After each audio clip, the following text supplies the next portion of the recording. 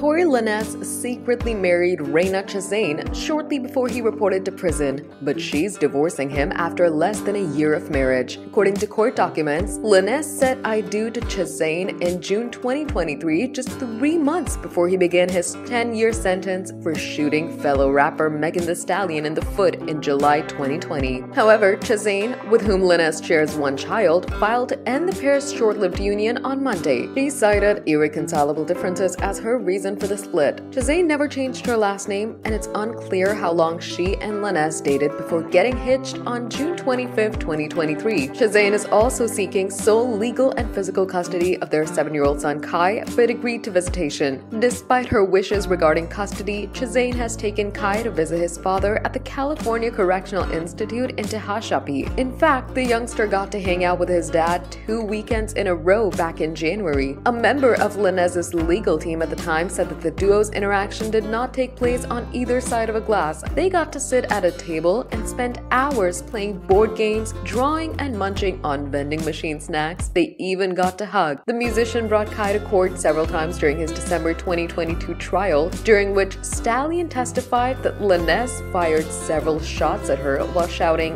Dance, after an argument ensued in their car on their way home from a party.